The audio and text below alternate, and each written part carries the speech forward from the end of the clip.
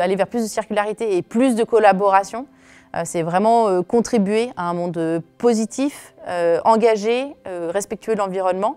Et je suis vraiment convaincue que ça se joue au niveau local, au niveau de personnes qui ont envie de s'impliquer. S'engager dans Solucir, c'est lutter contre l'éco-anxiété, quoi.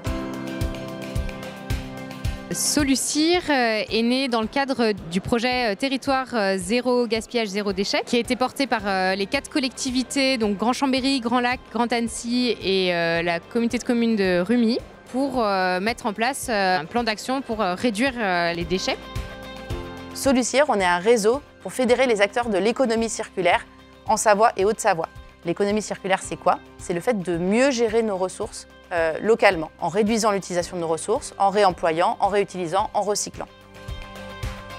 les missions sont surtout de faire émerger les solutions qui existent, les entreprises qui sont porteurs de l'économie circulaire, on rencontre beaucoup de, personnes qui travaillent dans la même dynamique et qui ont envie de voir l'économie circulaire se développer.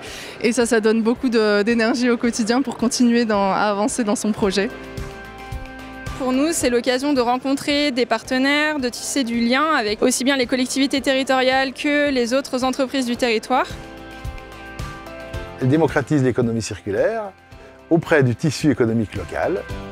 On voulait être partie prenante de cette démarche en étant conscient que nous, euh, on avait beaucoup de choses à faire. Donc on est en contact avec euh, Citis euh, pour l'autopartage, Chaos pour la revente des pièces de maintenance obsolètes et Valoralp pour les remplois de carton.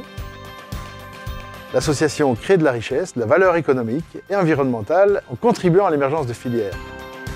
Moi, j'accompagne les entreprises à réussir ces transformations vers l'économie circulaire. C'est quelque chose de complexe et pour ça, ma conviction, c'est qu'il faut collaborer, coopérer.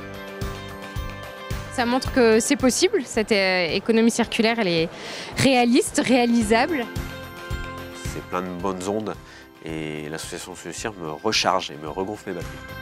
Ça nous montre qu'il y a toute une dynamique, tout un réseau, tout un mouvement qui va en avant, qui se mobilise sur ces sujets-là.